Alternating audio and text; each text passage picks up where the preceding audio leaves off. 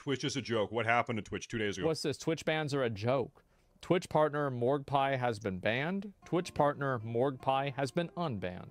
Now, the people that do communication at Twitch don't fucking know what they're doing. Let me just let's pull up one of our usual suspects here.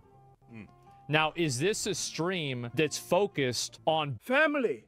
Now, I'm going to have the opinion of yes, it is. This focus on some Family. It's a fact. You know it, I know it, everybody knows it. However, some people would say it's not. So then you open up the possibility of interpretation. And that is where the confusion begins.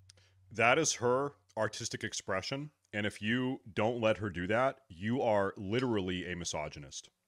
Just by the way, Asmongold, or should I call you as as misogynist?